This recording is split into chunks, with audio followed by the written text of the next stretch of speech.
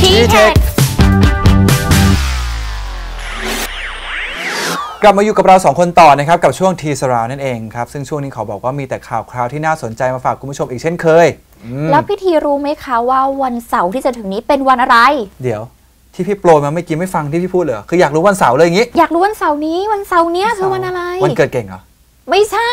อ้าวโอ้วันจะไปเกิดรู้น้องยังจำไม่ด้ได้เลย วันเสาร์ก็วันเสาร์ดิวันมีเสาวัร์นคือื่อนอีวักนเหรอเสาร์อะไรเล่าอ้าวเสาร์ที่สองของเดือนมกราคมอ๋อวันเด็ก วันเด็กโอ้อ๋อพี่ทีห่างหายมานานแล้วลืม คือไม่ค่อยอินกับวันนี้เท่าไหร่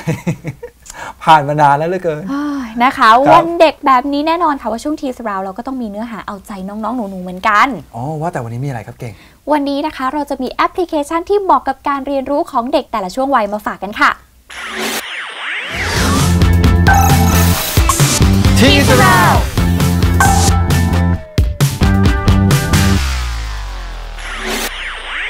สำหรับแอปพลิเคชันแรกเป็นแอปช่วยเรียนภาษาไทยค่ะ ต้องบอกก่อนก่อนที่เก่งจะเริ่มแอปแรกอืมพ่อแม่คนไหนที่มีลูกเล็กเด็กแดงนะครับ อย่าลืมว่าเอาปากกาขึ้นมาจดไว้ หรือว่าเอามือถือมาโน้ตไว้ด้วยว่ามีแอปอะไรบ้าง เพราะว่าแต่ละแอปเนี่ยสำคัญแล้วก็ดีมาก ๆ เลยทีเดียว ซึ่งแอปแรกเนี่ยใช้ได้ทั้งเด็กและผู้ใหญ่อืมพูดเลยว่าผู้ใหญ่เดี๋ยวนี้ท่องกอไก่ถึงฮอนกฮูกไม่จบ อืมเริ่มค่ะ ไม่ได้ เห็นไหมพี่ทีไปโหลดแอปนี้เดี๋ยวนี้ เชื่อว่ามีอีกหลายคนที่ท่องไม่จบ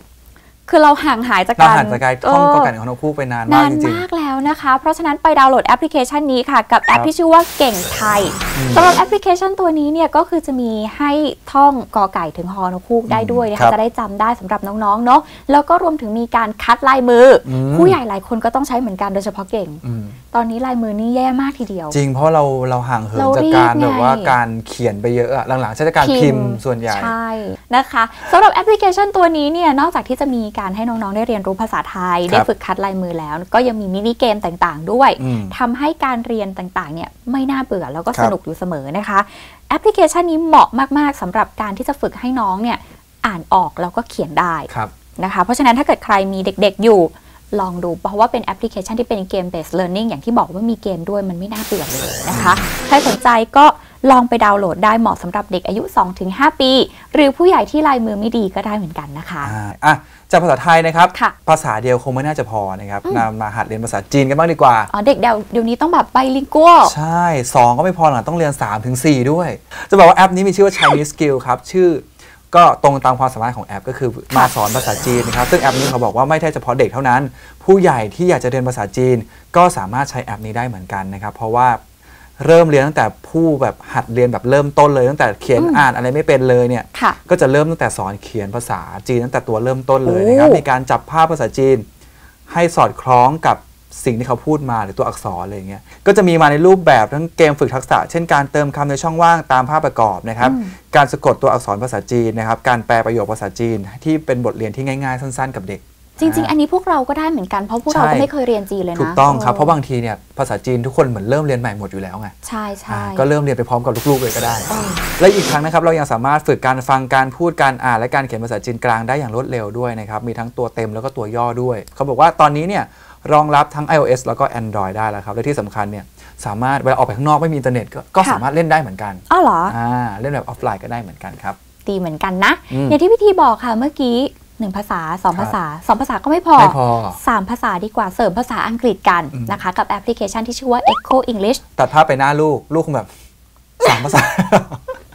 เอาแต่ภาษาอังกฤษเป็นภาษาพื้นฐานนะ ก็คือก็ควรจะต้องเรียนนะคะ ตอนเด็กอาจจะแล้วขี้เกียจแต่ว่าโตขึ้นจะได้ใช้เป็นประโยชน์มากจริง ๆ นะอืมเออนะคะก็ภาษาอังกฤษเนี่ยอย่างที่บอกใน Echo English จะเป็นภาษาอังกฤษที่มีตั้งแต่พื้นฐานสำหรับผู้ที่เริ่มเรียนนะคะ ไปจนถึงแบบภาษาอังกฤษระดับที่ยากขึ้นไปเรื่อยๆ โดยเขาก็จะมีการแบ่งตามพฤติกรรมการเรียนมี 200 กว่าสถานการณ์เลยนะ เพราะฉะนั้นสามารถเข้าไปแล้วก็เลือกเรียนได้เลยที่สำคัญ เรียนเสร็จแล้วยังมีการทดสอบความเข้าใจเป็นแบบสอบถาม หรือว่าเป็นข้อสอบท้ายบทเรียนด้วยดีก็จะนะได้รู้ว่า เอ้ย อันเนี้ยตกลงเข้าใจจริงหรือเปล่าอย่างน้อยเนี่ยเวลาเราทำอะไรมันจะได้มีจุดมุ่งหมายไงอืมว่า เอ้ย เสร็จแล้วเนี่ยต้องไปทำอันนี้ให้ผ่านนะ จะได้รู้ว่าเออเราเข้าใจจริงๆอะไรอย่างเงี้ยนะคะ ก็ถือว่าเป็นอีกหนึ่งแอปพลิเคชันที่ดีเหมือนกัน แล้วก็ฟรีด้วย ได้เรียนกับเจ้าของภาษาแบบฟรีๆแบบนี้เนี่ยเพราะว่าเป็นการร่วมมือระหว่างภาครัฐ กับภาคเอกชนใช่นะคะทำแอปนี้ออกมา โอ้โหมีประโยชน์มากๆนะครับอะ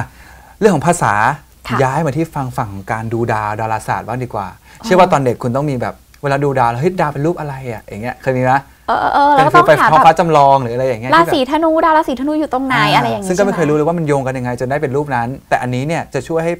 เขาเรียกว่าจินตนาการของเราบันเจิดขึ้นนะครับ กับแอปที่มีชื่อว่า Sky View นั่นเองนะครับ โหลดมาเลยครับ จะทำให้น้อง ๆ หนู ๆ คนไหนที่ชอบดูดาวเนี่ยค่ะความใฝ่ฝันที่เป็นนักดาราศาสตร์เนี่ยจะเข้าใกล้ขึ้นมาเรื่อยๆอ่าอืมวิธีการใช้งานง่ายมาก ๆ ครับ เพราะว่ามันใช้งานผ่านกล้องมือถือของเราโดยผ่านเทคโนโลยีแบบ Augmented Reality นั่นเอง ซึ่งจะช่วยให้การดูดาวของเรานะครับสนุกมากยิ่งขึ้น ก็คือง่ายๆหลักการทำงานก็คือเปิดแอปขึ้นมานะครับอืมแล้วมันก็จะเป็นเหมือนว่าโหมดเรียกโหมดกล้องขึ้นมา พอเสร็จปุ๊บเนี่ย เอาขึ้นไปที่ท้องฟ้าค่ะอ่าก็จะเหมือนแบบมีการแสดงผลสามมิติอยู่บนท้องฟ้าด้วยแบบทับซ้อนเข้าไปอีกทีหนึ่งอ๋อทำให้การเรียนหรือว่าการดูดาวต่างๆเนี่ยเป็นไปได้อย่างสนุกสนุกสนาน แล้วก็มีสาระมากยิ่งขึ้นค่ะอ่าก็เป็นอีกหนึ่งแอปที่น่าสนใจนะค่ะรับรองว่าใครที่เด็กๆคนไหนที่ชอบดูดาวน่าจะ happy เลยทีเดียว มาต่อกันอีกหนึ่งแอปพลิเคชันค่ะ เหมาะสำหรับเด็กที่มีจินตนาการแล้วก็ชอบศิลปะอืมเน้น EQ ไปอีก เน้น EQ อะเออ IQ อย่างเดียวไม่ได้เราต้องมี EQ เสริมกันเข้าไปครับด้วยนะคะ เป็นเรื่องของการเรียนพับกระดาษ หรือว่าอ่า ออริกามิอืมภาษาญี่ปุ่นเนี่ยก็คือเป็นศาสตร์แห่งการพับกระดาษแหละ ซึ่งเขาก็มีมานานมากแล้วนะคะครับแอปพลิเคชันออริกามิอย่างที่บอกว่าเป็นการสอนพับ ไม่ว่าจะเป็นรูปต่างๆ ที่เด็กจินตนาการได้นะคะ บ้านรถเรือคน เก่งเคยมีแบบเป็นหนังสือเหมือนกัน ซึ่งแบบเป็นหนังสือเนี่ยมันค่อนข้างลำบาก เพราะว่าเราต้องพกหนังสือไปไหนตอนไหนแล้วหนัก็กต้องนั่งเปิดแล้วมันหนักด้วยใช่นะคะ แต่อันเนี้ยมันมีทุกอย่างอยู่ในแอปพลิเคชัน อยู่ในมือถือที่เราพกอยู่แล้วเนี่ยถือว่าสะดวกมาก ผู้ใหญ่ก็ใช้ได้ คือบางทีเนี่ยพับเป็นของขวัญก็ได้นะเห มือนแบบเออพับให้เพื่อนแล้วข้างในแบบเขียนการ์ดหรือเขียนอะไรอวยพรเข้าไป หรือว่าเด็กๆจะพับเอาไปเล่นกับเพื่อนก็ได้เหมือนกันนะคะ ในแอปพลิเคชันนี้เนี่ยจริง ๆ มีรูปแบบของการพับให้เลือกกว่า 70 แบบเลยนะพี่ทีอืมก็ลองไปดูนะคะสำหรับใครที่ชอบโหลดได้แล้วทั้ง iOS แล้วก็ Android ค่ะ และนี่แหละครับ ก็เป็นแอปพลิเคชันนะครับที่เรามาฝากกันในวันนี้นะครับ แต่เขาบอกว่าแต่ละแอปเนี่ยเจ๋งมากไม่ใช่แค่เด็กเล่นได้ ผู้ใหญ่ก็เล่นดีด้วยนะคะๆใช่ครับ ยังไงอยากให้ลองโหลดกันนะ เพราะเชื่อว่าถ้าโหลดมาแล้วเนี่ยเป็นประโยชน์ต่อลูกหลานคุณแน่นอน ค่ะนี่ก็คือของขวัญวันเด็กจากรายการทีเทคประจำปีนี้นะคะครับเดี๋ยวช่วงนี้ไปพักกันแป๊บหนึ่งช่วงหน้ากลับมาอยู่ด้วยกันต่อกับรายการทีเทคค่ะ เดี๋ยวมาครับทีเทค